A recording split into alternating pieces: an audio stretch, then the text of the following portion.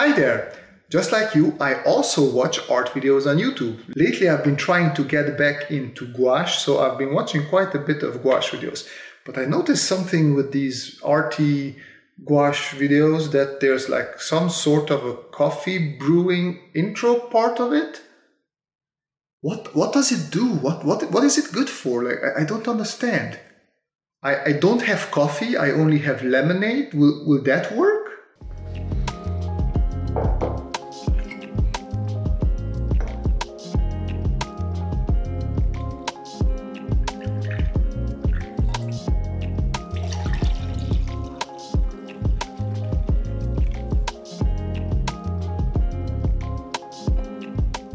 Like like this what was this good? Is was this a good intro? Like anyways today's video is about drawing cogwheels. Well it's again ellipses but also how can you use them to draw cogwheels and how can you use subdivision? Let's jump into it as you can see today we're going to talk a little bit about cogwheels which technically is just more ellipses I swear I'm becoming the ellipse guy of the of the YouTubes. Anyways, let's just start with a simple one. So I am going to draw an axis here and let's draw an ellipse on it. I'm trying to do a, a, perfect circle, but one thing today we're only going to do freehand, so nothing is going to be perfect. So this is our uh, circle. It is already divided. Let me subdivide it, these quarters into halves. So this is one, and this is another one. And we're just going to do the, the, the, simplest thing that we can do. We already have our nice division. Let me take a thicker pen. Not the, the prettiest cogwheel, probably also not the functional, most functional cogwheel, but it is at least the setup of how we're gonna work. We're going to use the, these subdivisions. So let's let's do one with eight because four is just too too too few. Okay, I failed with this one, so I'm just doing a quick one here again. And just to control it a little bit more, you can see that this is definitely not equal with this. So what we're going to do, I'm going to switch to blue and I'm going to subdivide them here. So I'm going to make sure that all the blue lines are equal. So while the initial two are okay, after that you can just switch to doing your subdivisions here and it can give you a much more accurate division.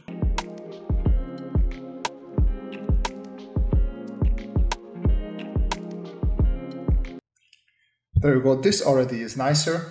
And at this point you probably say, yeah, okay, good, but this doesn't look like a cogwheel at, at all. That, that is correct. It is actually quite hard to draw correct cogwheels because there's a lot of math in it. If you study mechanical engineering and if you have mechanisms within that, then at one point you will probably learn about what you have to do. And as you can see also on these images, there, there's, there's a lot of math that can go into it. So let's turn this into a cogwheel that looks more recognizable.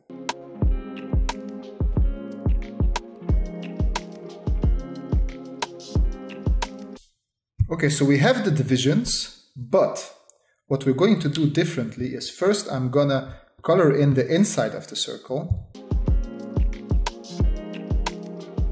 And now for the actual wheels or teeth or however you wanna call them, we're going to draw this is something that, that the cogwheel looks like, right? So there, the next one is there. So we don't have to think about, or you don't have to do the side like this nicely rounded. You can also just do a simple trapezoid shape. So that's, that's what we're doing here. So we're trying to fit this trapezoid shape into this predefined little cuboid area that we had there. And that, and this one already looks a lot more like a cogwheel. You can put a little hole in there and you already have a much more functional cogwheel.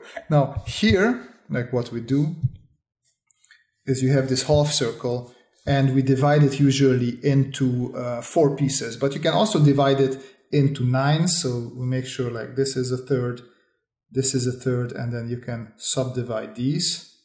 And then if you have an inner circle, you just make sure that you connect these with a center point. And then what you can do is just create these little trapezoid looking things. And then you will have 3 times 4, which is 12 instead of 8. So you can do all sorts of combinations. Uh, and probably once again, okay, this is not hard, you don't need to teach us yet, but we can do the same thing in 3D as well.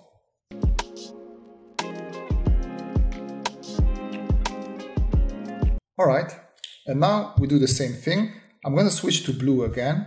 So we're going to try and find the center line here, which I'm expecting to be that one, and the center line here. So not center line, sorry. So I'm basically subdividing this these quarters again.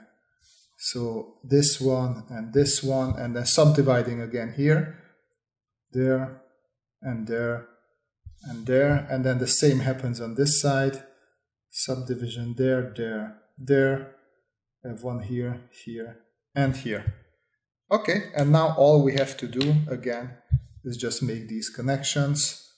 Obviously, if I would like pull them all into the center point, that would help us a little bit because then we would see where these intersect our inner ellipse.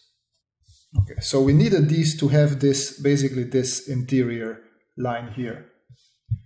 So all I'm gonna do now is just follow this interior line. Let me switch back to my black.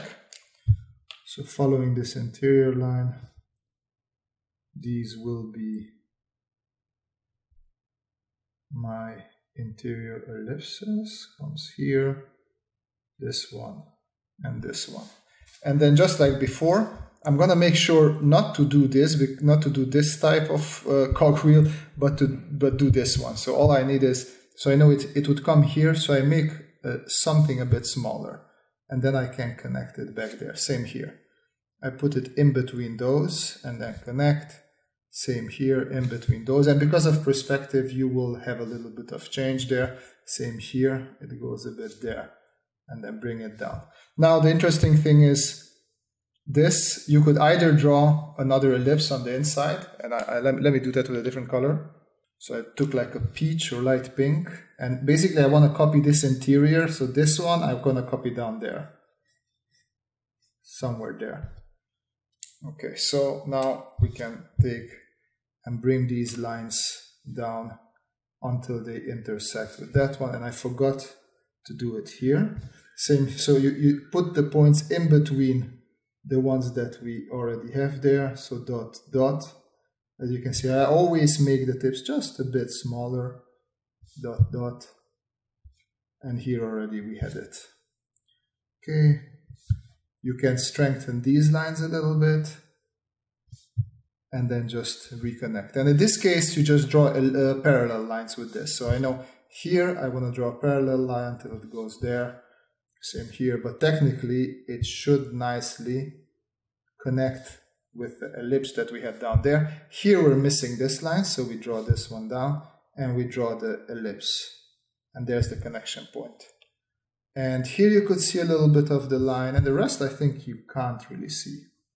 So I'm just going to strengthen my outline a little bit so it's clearer where my cogwheel is.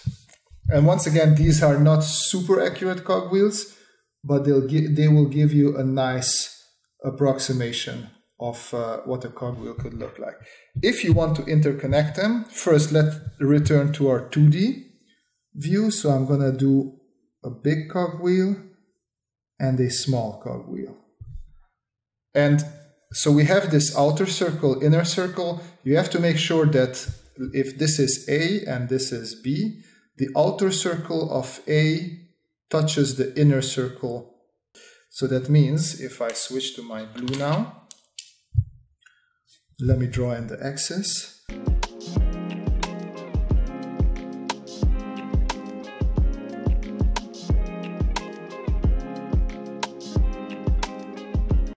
Okay, so this is our A and B, I need to make it a bit bigger.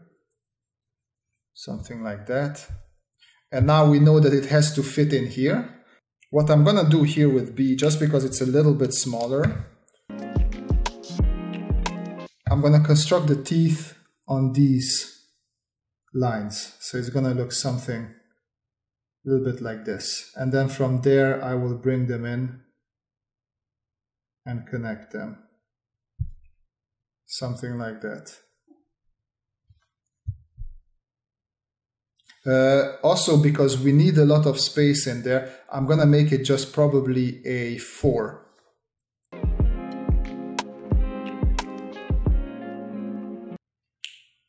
So it would be something like this. If you want to draw this in 3D,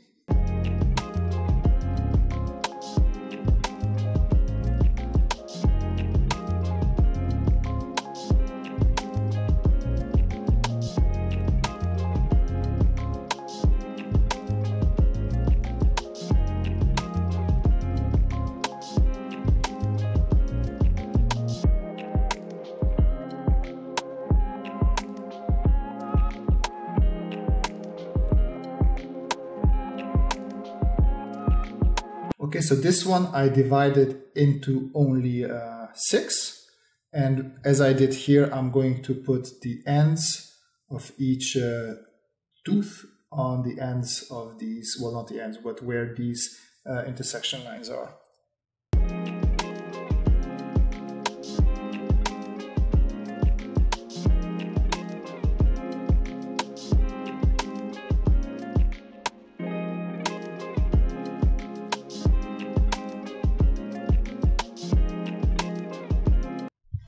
So this is, uh, oh, this one is off as you can see. This is a good mistake that I made. So it's very easy to fix.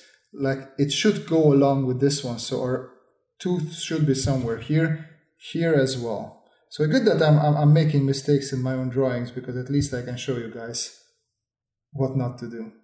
So the rest seems to be somewhat okay. Yeah, these seem to be somewhat okay. The problem was this. So when you have these inner, oh, sorry, let me, let me try it like this. So we have an ellipse there. Let's say this, this is the halving point like that and like here. Then we know that if I'm gonna draw teeth here, I think in English, I don't know if, if they're actually called teeth in English, but I'm just gonna keep on calling them that. Then I will know to sort of follow these lines and not go totally crazy. So that's that's why it's good to draw these intersection lines because at least the teeth will somewhat follow uh, the perspective and you won't end up with something like this which which technically it, it seems almost like a tooth that is coming off. It should be like that, right?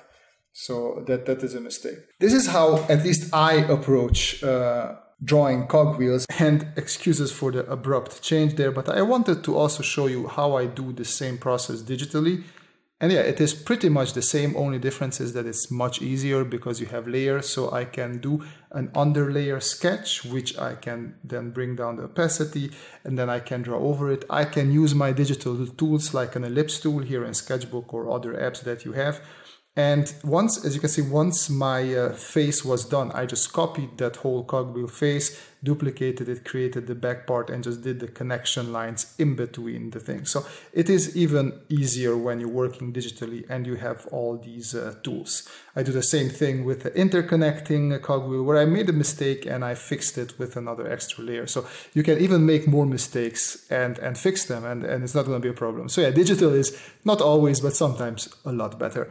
Uh, anyways, this is towards the end of the video. Uh, stay tuned because there's also an example of how to use this uh, subdivision techniques, not just in cogwheels, but also, uh, for example, I'm going to draw a rim. But I just wanted to take this time and uh, yeah, say goodbye because this is the last video that I am doing this year. Uh, there's going to be a couple more videos, but on Tuesday, I on Wednesday, I am flying off for vacation and won't be in front of my uh, computer for a while. So I want to wish everybody a great holiday time. Enjoy your winter. Uh, draw a lot, have a lot of fun, chill. Uh, but most important is this that you guys have a great time and see you in the new year. Bye bye.